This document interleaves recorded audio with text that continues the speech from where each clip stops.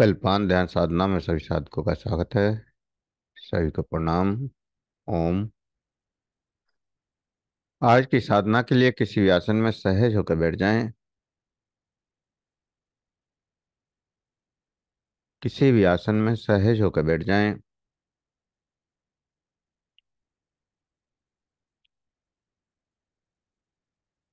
आँखें कोमलता से बंद।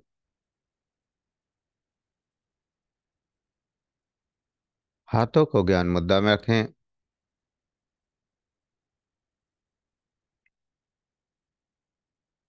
कमा गर्दन सीधी।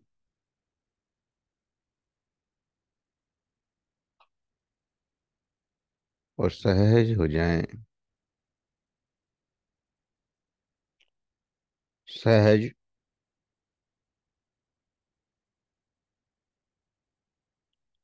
श्वासों के साथ। जो श्वास अंदर जा रहा है, जो श्वास बाहर आ रहा है, उन श्वासों के साथ सहज होते जाना है।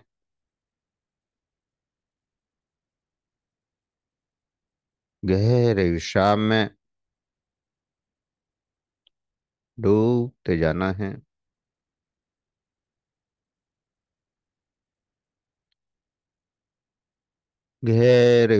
में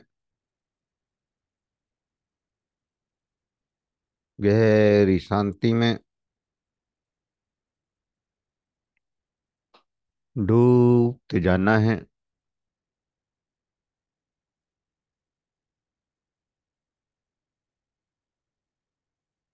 गहरे आनंद में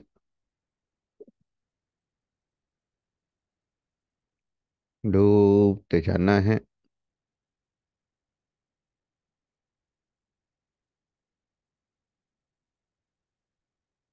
ब्रह्मांड की आती हुई कॉस्मिक एनर्जी परमात्मा की ऊर्जा का जो भी एहसास हो रहा है जो भी एनर्जी आपसे जुड़ रही है।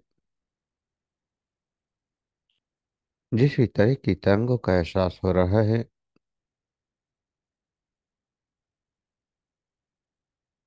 उन तरंगों को साक्षी भाव से देखें।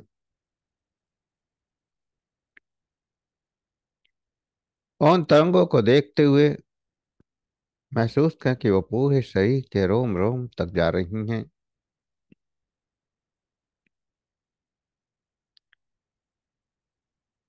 तरंगों का साक्षी बने। लगातार ऊर्जा बढ़ती जा रही है। जो भी संवेदनाएँ हैं, जिस भी तरह की हैं, शरीर के प्रत्येक सेल तक जा रही हैं। पूरा शरीर ऊर्जा से भरता जा रहा है। अनंत ऊर्जा का प्रभाव अनंत ऊर्जा की जागृति।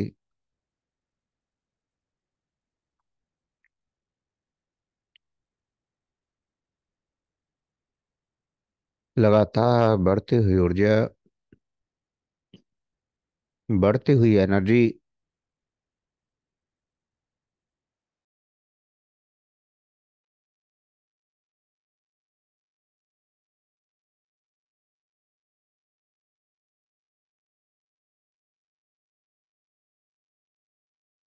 और सूर्या के साथ धीरे धीरे गहराई में डूबते जाना है। अनंत गहराइयों में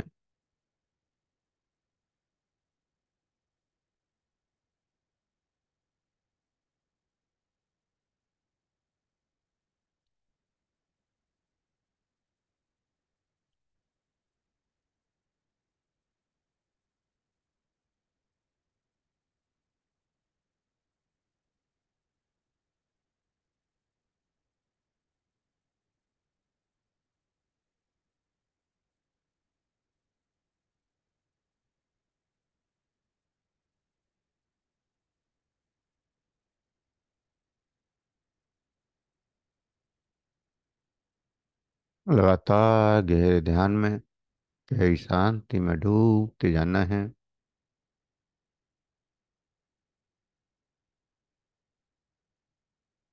रोज़ाना ध्यान से जुड़ना बहुत ज़रूरी है। क्योंकि जन्मों की नकारात्मकता पीछा नहीं छोड़ती। नकारात्मकता के साथ संघर्ष करना पड़ता है। और जब पूरे जीवन किया जा रहा है, अहंकार ही नकारात्मकता का मूल स्रोत है। अहंकार ही है सारे झूठों का केंद्र। अहंकार ही है सारे विकारों का केंद्र। और सारी समस्याएँ ही अहंकार से पैदा होती हैं।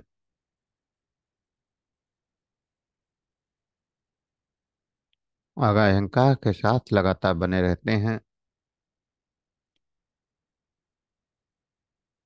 तो समस्याएँ पैदा होती ही होती हैं और नकारात्मकता आ ही जाती है। मैं हूँ। मैंने ऐसा कर दिया।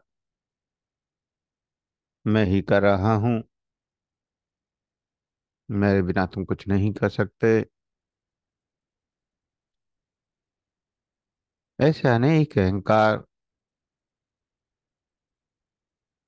जो मैं से जुड़े हैं, स्वयं से जुड़े हैं।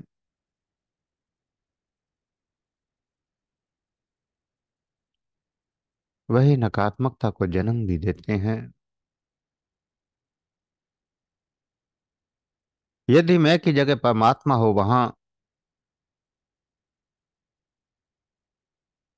तो हम कह सकते हैं कि जो करता है वो परमात्मा कर रहा है। मैं तो केवल उसका हिस्सा हूँ।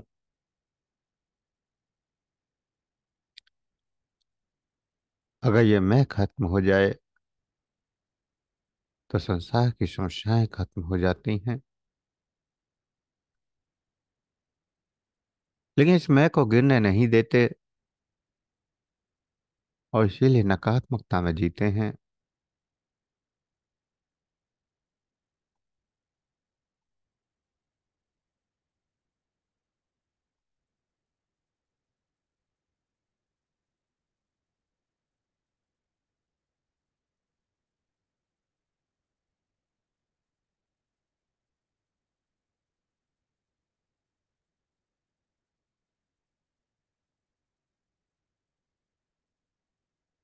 एक पागल व्यक्ति, उसका अहंकार इतना वास्तविक बन जाता है कि सारी झूठ, दूसरी चीज़ें झूठी बन जाती हैं। वह अपने अहंकार में सब कुछ भ्रम में खो देता है। उसका आंतरिक संसार उस मैं पर ही रुक जाता है।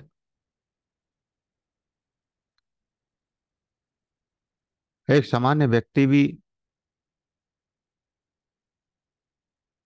कुछ इसी तरह से करता है।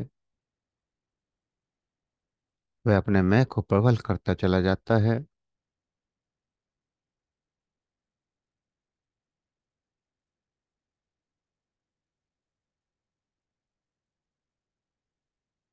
जब यह अहंकार पूरी तरह से चेतना पर हावी हो जाता है।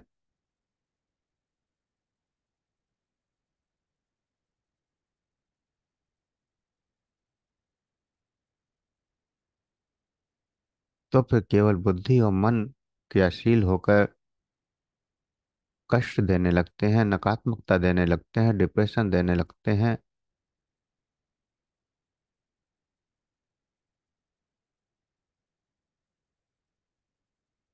जब जब आपके ऊपर नकारात्मकता का हावी होती है, तब तब मैं का प्रबल प्रभाव होता है। जब जब आप विचार करते हैं कि मुझे ये नहीं मिला,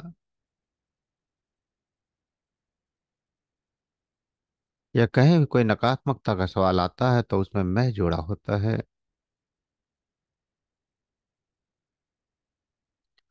और मैं जितना गहरा होता है, उतने ही ज़्यादा तेज़ी से विचार प्रबलता से चलने लगते हैं। उतनी ही तेज़ी से मस्तिष्क दौड़ने लगता है। और अपनी क्षमता से कई गुना ज़्यादा वर्क करने के कारण न्यूरॉन्स थकान महसूस करने लगते हैं। नींद आना बंद हो जाती है। तनाव बढ़ता चला जाता है।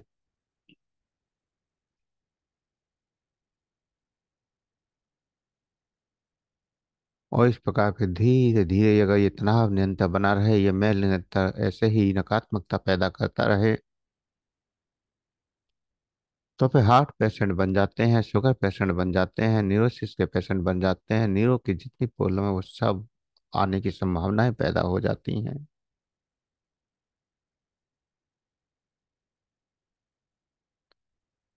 और वहीं अगर अहंकार को गिरा दिया होता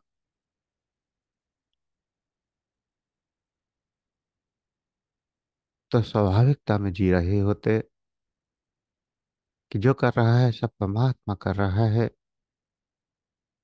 जो करता है सब परमात्मा करता है। पूर्णतः स्वाभाविकता से सागर में नदी की तरह बहते चले जाते। जैसे एक नदी सागर में मिल जाती है और सहजता से बहती चली जाती है। उसे कोई कष्ट नहीं होता, क्योंकि वो सागर से मिली है। जब तक नदी स्वयं में बहती है छोटे छोटे पत्थर भी उसे रोक देते हैं, उसके बहाव को बदल देते हैं। लेकिन वही नदी जब सागर से मिल जाती है तो बड़े बड़े पत्थरों को भी पार करती चली जाती है।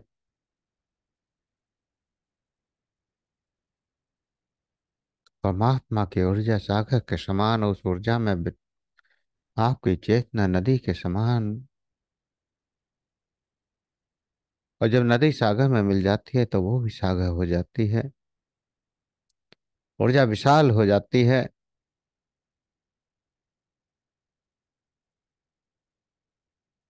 और सारी समस्याएँ हल हो जाती हैं।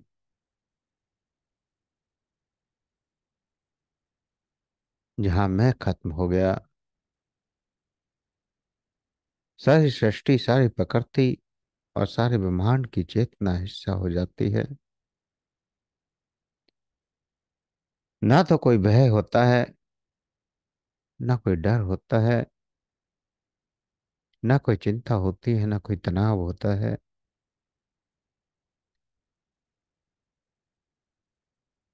और जब कुछ नहीं होता तो फिर कोई संबंध भी नहीं होता।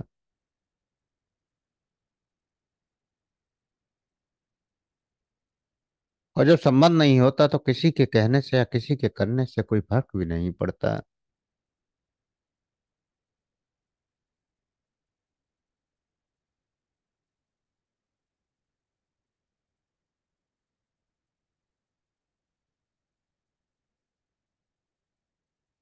कोई क्या कहता है?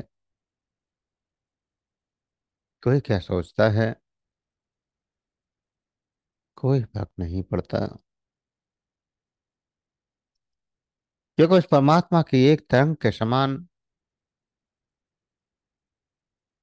बहते चले जा रहे हैं। परमात्मा की ऊर्जा जिस दिशा में ले जा रही है, वो दिशा में आगे बढ़ते जा रहे हैं।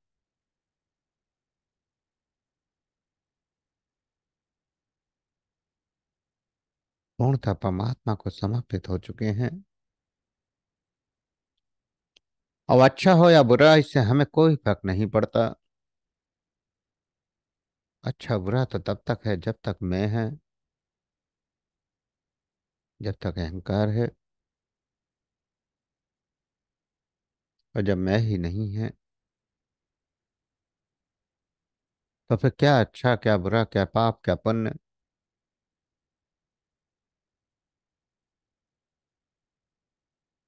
जीवन में बहते चले जाना है। संपूर्णता के साथ। क्योंकि संपूर्णता के अंश बन चुके हैं। संपूर्ण ब्रह्मांड की ऊर्जा से जुड़ चुके हैं।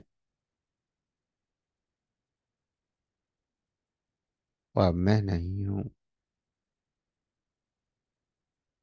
और मैं नहीं हूँ तो सब कुछ है। सारा ब्रह्मांड हमसे जुड़ा है।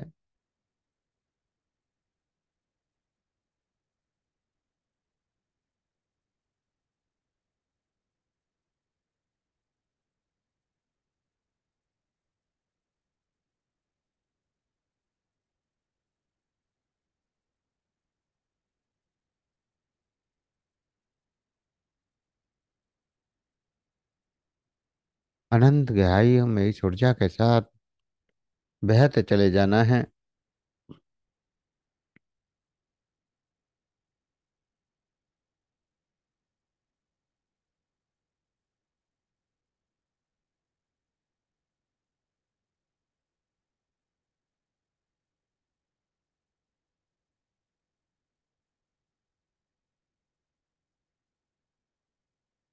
हम सोचते हैं कि हम बदल चुके हैं।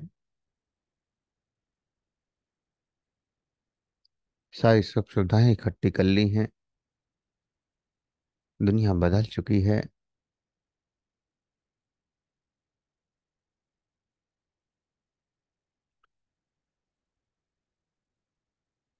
पहले कच्चे मकान हुआ करते थे, आज पक्के मकान हो गए हैं।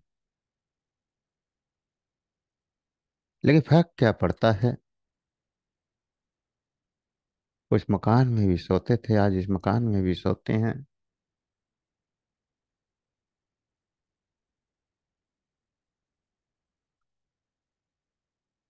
कोई फ़र्क नहीं पड़ता।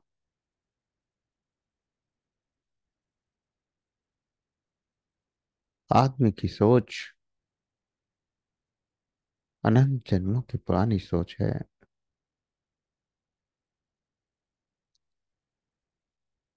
जन्म जन्मों से लगातार वही बने हैं जो पहले से रहे हैं। और जन्म की वही मान्यताएँ, वही संस्कार, वही स्मृतियाँ। और इसीलिए मैं इतना प्रबल है और इसीलिए ये ऊर्जा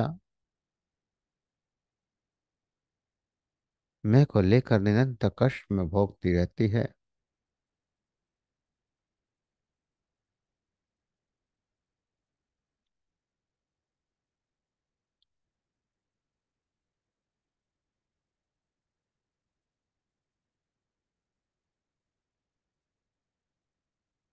बदलना तो इस मैं को है, बदलना तो इस स्मृतियों को है, बदलना तो इस जन्म के संस्कार, मान्यताओं को है।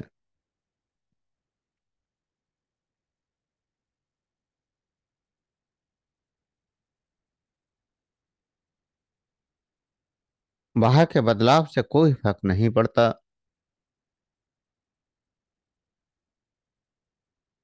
एक महल में सोए या एक झोपड़ी में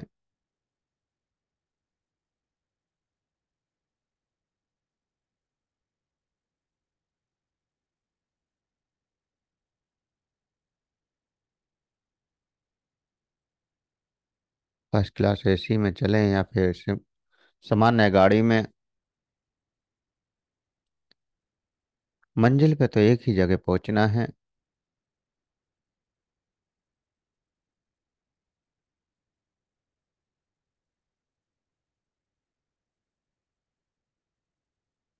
तो हृदय के रूपांतर को करना है।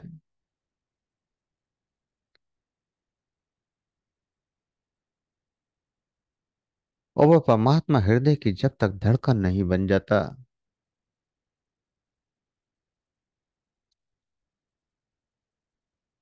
अभी तो हम सोचते हैं कि हम जी रहे हैं। जब तक हृदय धड़कता है, तब तक मैं हूँ। लेकिन जिस दिन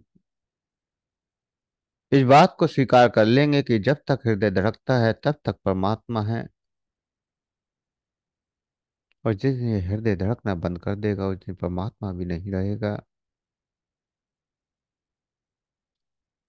क्योंकि हृदय की धड़कन के साथ उस परमात्मा को महसूस करो और उस परमात्मा के साथ लगातार बहते चले जाएँ इस अनंत ऊर्जा के साथ।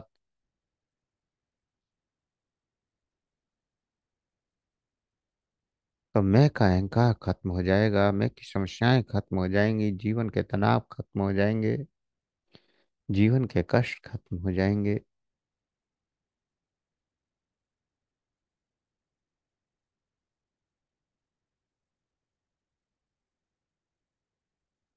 सब कुछ करने वाला तो वही है। उसको हम परमात्मा नाम दे दें या कृष्ण नाम दे दें या राम नाम दे दें।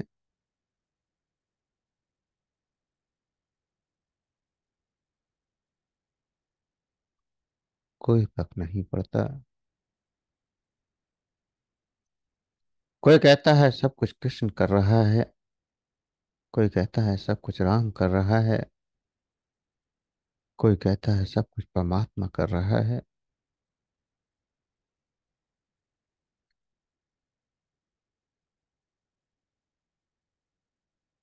लेकिन कहने से काम नहीं चलता जब तक वो हृदय में वास्तविकता में न बदल जाए।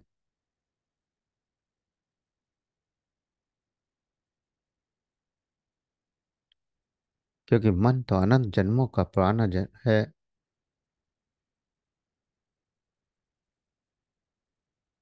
इस मन को स्वीकार करना है, इस नएपन को स्वीकार करना है।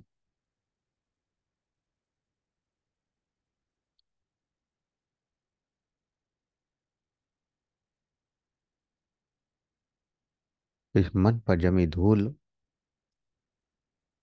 जो पुरानी स्मृतियाँ हैं, उनको मिटा देना है।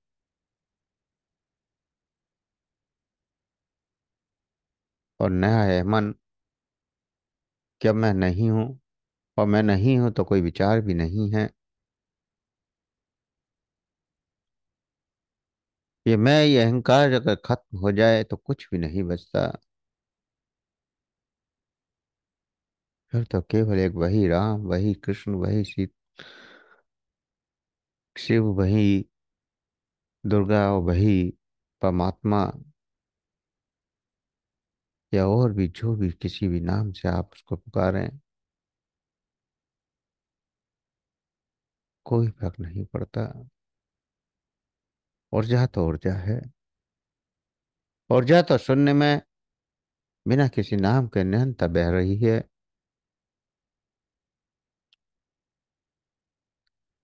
अब आप उसको किस नाम से पुकारते हैं, इससे फ़र्क नहीं पड़ता। आपका हृदय उसे किस नाम से स्वीकार करता है? आपका हृदय उस विशाल ऊर्जा से कितनी गहराई से जुड़ता है? फ़र्क तो इस बात से पड़ता है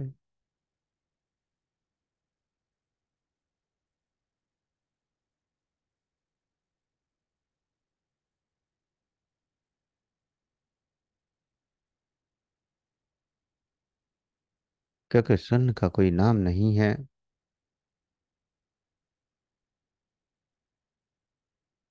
उस अनंत ऊर्जा का, उस अनंत केंद्र का कोई नाम नहीं है।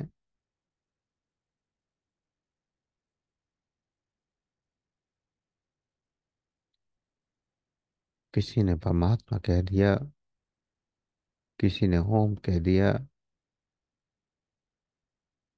किसी ने शिव कहा किसी ने राम।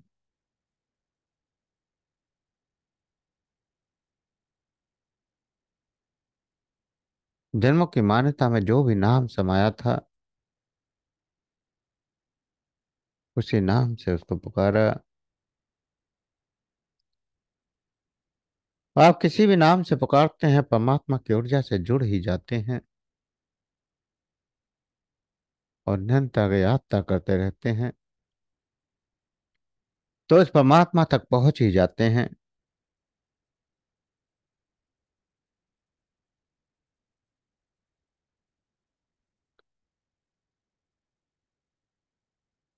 कोई भी खोज मन के द्वारा नहीं की जाती।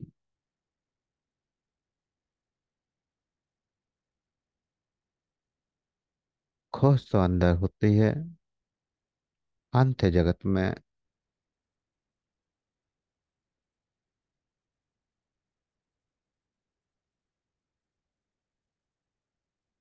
जहाँ मन का अस्तित्व खत्म हो जाता है, वहाँ मैं का अस्तित्व खत्म हो जाता है।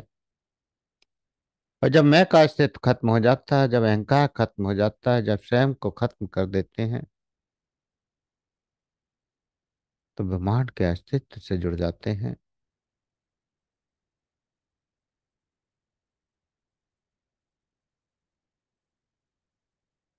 कई बार आप देखते हैं कि लाख कोशिश करते हैं, मन से, बुद्धि से, लेकिन समस्याएँ हल नहीं होती। हार करके फिर उस परमात्मा पर छोड़ देते हैं कि ठीक है, अब जो होना है सो होगा। और तुरंत समस्या हल हो जाती है।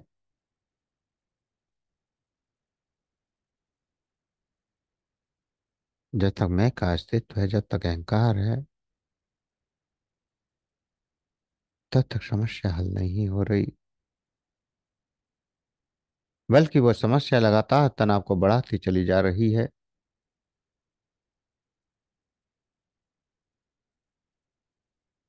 और जैसे ही मैं को त्याग कर दिया स्वयं के अस्तित्व को समाप्त कर दिया। सब कुछ परमात्मा पर छोड़ दिया।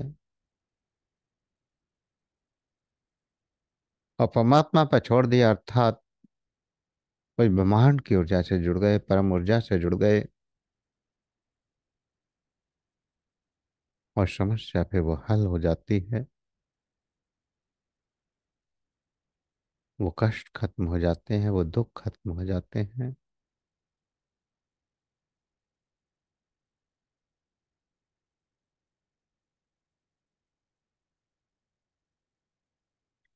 मन तो एक कंप्यूटर की तरह है। कंप्यूटर में जो कुछ भरा गया है, कंप्यूटर उसी का जवाब देता है। कोई भी नई बात का कंप्यूटर के पास कोई जवाब नहीं होता, जो उसमें डाली ना गई हो। ठीक, ऐसे ही मन या बुद्धि भी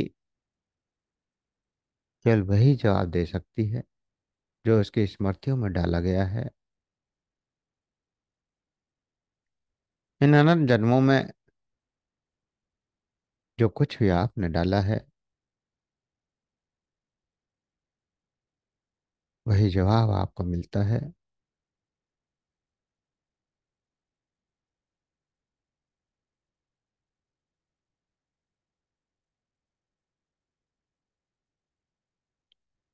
तो इन स्मृतियों से आगे जब निकलते हैं, जब मैं को खत्म कर देते हैं, तभी कुछ नया खोज कर सकते हैं।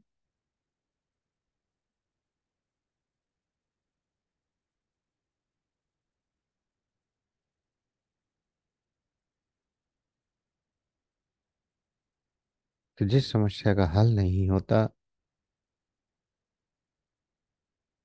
उस अंत जगत में उसका भी हल निकल कर आ जाता है। लेकिन उस परमात्मा पर पूर्ण अगर भरोसा है तब, क्योंकि अगर समर्पण अधूरा है, उस परमात्मा की ऊर्जा से, गहराई से नहीं जुड़े, अभी भी अगर भटकाव है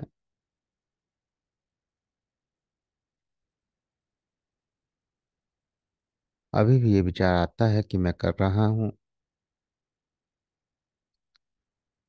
तो फिर अभी लंबे समय तक ध्यान की ज़रूरत है।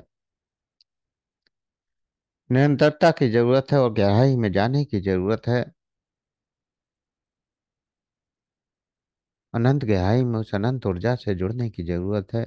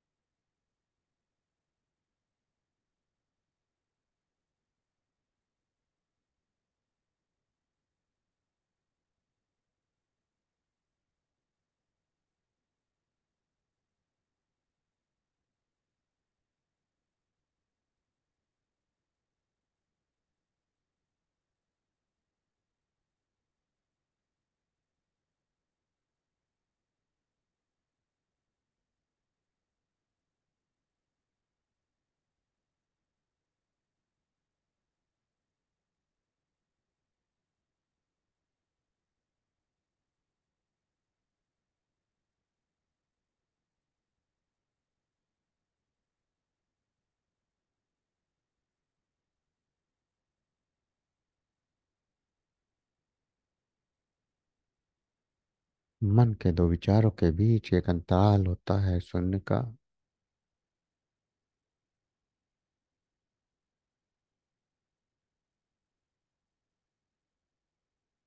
पूर्ण निर्विचार का।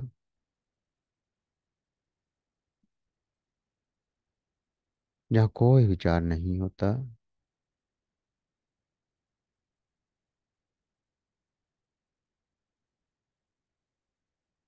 और उसी क्षण में वो परमात्मा की ऊर्जा जवाब देती है।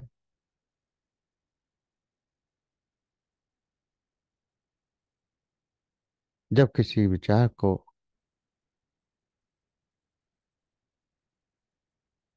छोड़ दिया जाता है ब्रह्मांड में और छोड़कर आप निर्विचार हो जाते हैं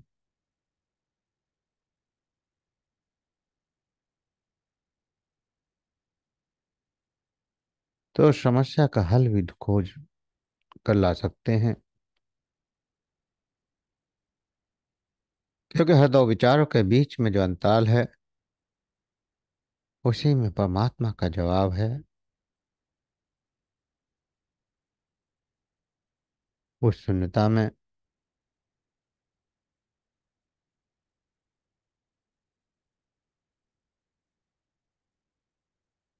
और इसीलिए कहा जाता है कि गहरे शून्य में प्रवेश करें। गहरी शून्यता में, गहरी शांति में।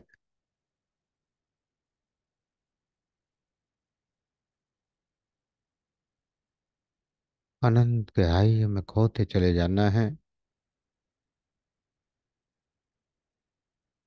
बिना किसी क्रिया के, बिना किसी प्रतिक्रिया के। और जो कुछ भी घटित हो रहा है, उसका अनुभव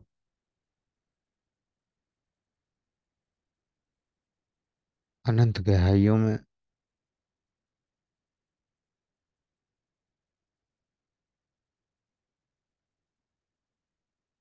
अनंत गहराइयों में खोते चले जाएँ।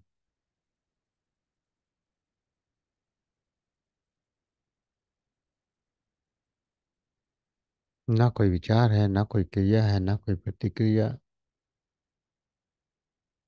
ये गहरा ठहराव, गहरी शून्यता अनंत ऊर्जा।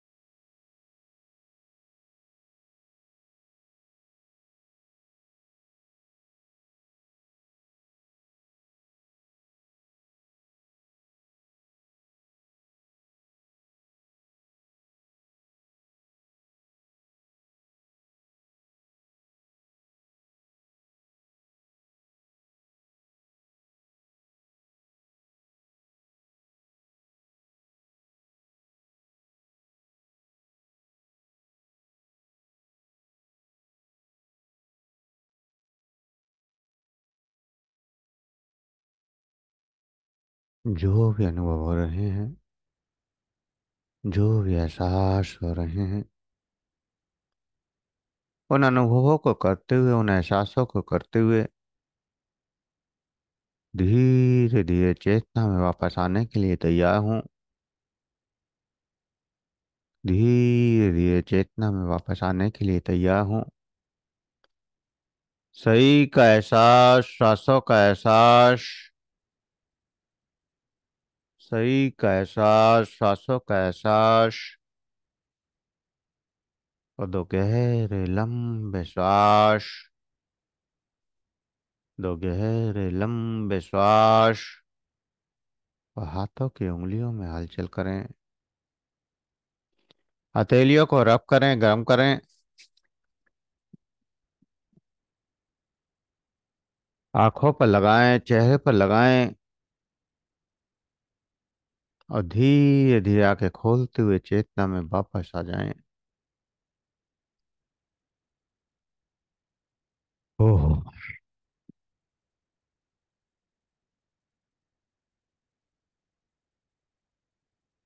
सही चेतना में वापस आ जाएँ। अब किसी साधक का अगर कोई क्वेश्चन है तो पूछ सकते हैं, किसी को कुछ कहना हो तो कह सकते हैं।